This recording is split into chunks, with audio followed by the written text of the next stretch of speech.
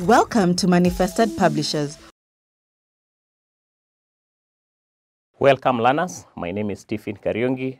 Today we continue with our topic of discussion in chemistry form 3. Uh, the topic is nitrogen and its compounds.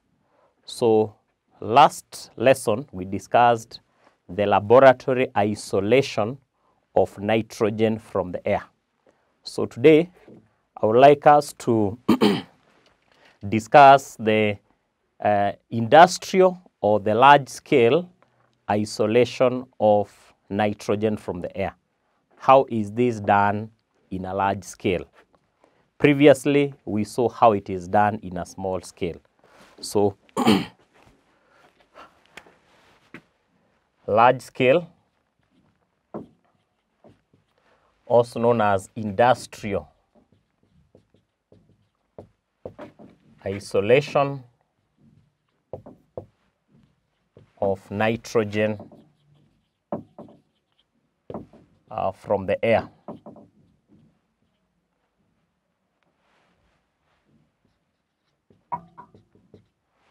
So on this, uh, we are saying that uh, basically uh, the main source of nitrogen uh, is the atmosphere because we know that uh, atmospheric air has 78% uh, nitrogen. So we're going to have a, a diagram to illustrate this.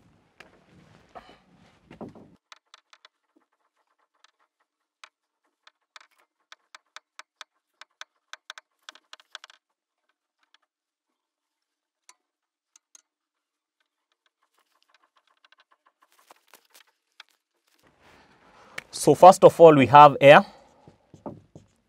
And the first chamber, the air is passed through filters. And the work of the filters is to remove any impurities, such as the dust particles that may be there, such as smoke.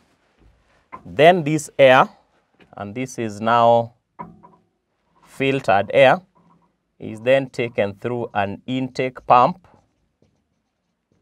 where it is pumped into another chamber.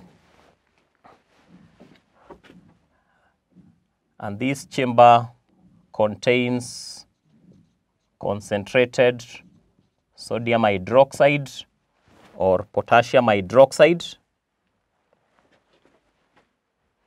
So we can refer to this chamber as the absorption chamber. So the air that is getting into the absorption chamber is um, dust free, dust free air. So the dust has already been removed at the filters. And then in the absorption chamber, where there is conc sodium hydroxide or potassium hydroxide, the carbon 4 oxide is absorbed. So on this other side, uh, we have CO2 free air, air that is free from CO2. It is then taken to the next chamber, and this one is the condenser. And here, the air is cooled to negative 25 degrees Celsius, a very low temperature, and this allows all the water vapor that is present in the air to condense uh, into a liquid, then freeze into a solid, and then it is left there. So all the water vapor will be removed in the condenser or the condensation uh, chamber. So the air that is coming out of this chamber is uh, air free, air free from water vapor. Water vapor. We know, of course, the air has water vapor because of the humidity.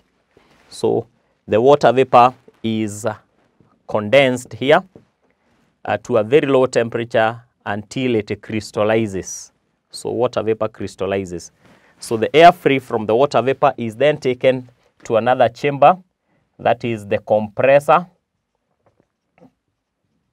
where it is compressed at a very high pressure of about 200, uh, 200 atmospheres, 200 ATMs. That's a very high pressure and repeated expansion and contraction of the air because of that high pressure lowers the temperature of that air to negative 200 degrees Celsius. So the air uh, is the air's temperature is lowered to 200 negative 200 degrees Celsius and at that point the air changes into a liquid. So here we have what we call liquefied air. We have liquefied air and that liquefied air is then taken to the fractional distillation. chamber, the fractional distillation chamber, where nitrogen collects at negative 196 degrees Celsius. We obtain nitrogen there. Then next after nitrogen, we have negative 186 degrees Celsius. We obtain argon. And then finally at negative 183 degrees Celsius, we obtain oxygen. So basically that is uh, how the large scale or the industrial isolation of nitrogen from the air is done. So we are saying first, uh, the air is first passed through filters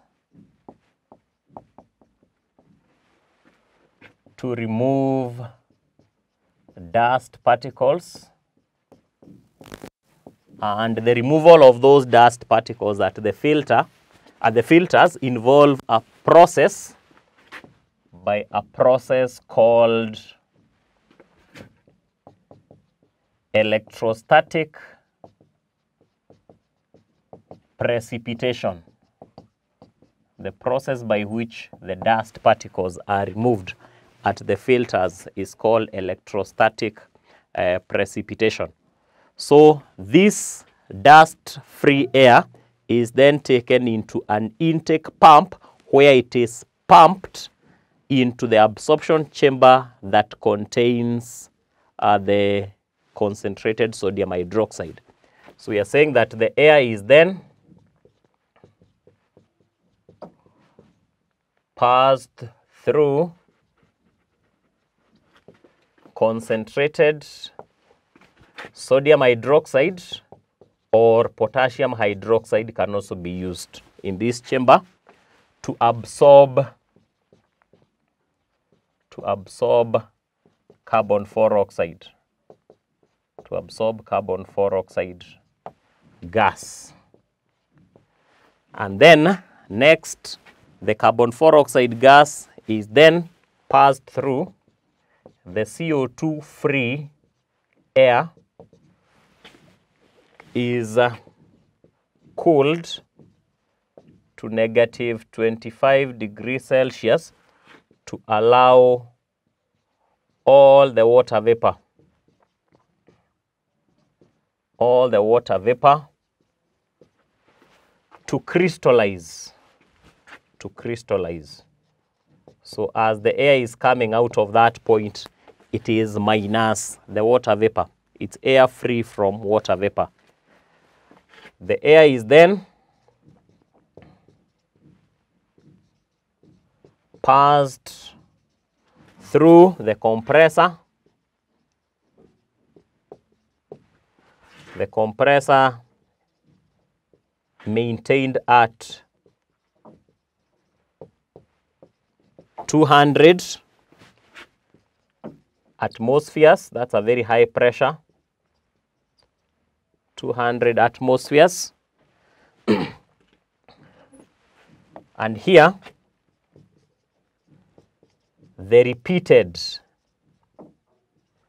expansion is the air will expand and contract. The repeated expansion and contraction of the air lowers its temperature lowers its temperature to negative 200 degrees Celsius. And the air the air liquefies changes into a liquid. That's a very low temperature. The air liquefies or changes into a liquid. Then the liquid air or the liquefied air is taken into fractional distillation chamber. Fractional distillation chamber uh, where nitrogen distills first at negative 196 degrees Celsius. Of course, due to its lower boiling point compared to the others. Nitrogen has a very low boiling point due to its lower boiling point compared to argon, which is negative 186 degrees Celsius, and lastly oxygen at negative 183 degrees Celsius. So basically, uh, the nitrogen that is uh, obtained here is more pure than the one that is isolated from the lab. So this nitrogen is relatively pure because it contains very little noble gases. Of course, one of the noble gases has already been removed, which is argon, and it is the dominant or it's the majority. So the remaining ones have very little uh, percentages that are almost negligible. So that is basically how the process is done. Uh, the large scale uh, or the industrial isolation of nitrogen uh, from the air.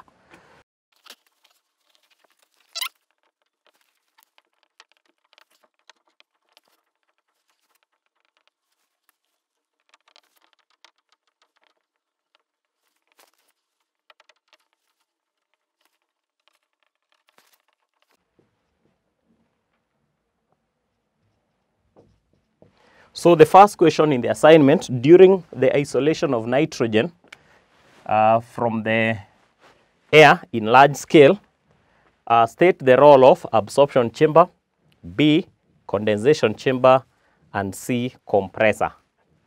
Uh, then, number two, explain why fractional distillation is done. Why fractional distillation is done in the above process. So we are going to stop there. Until next time, goodbye.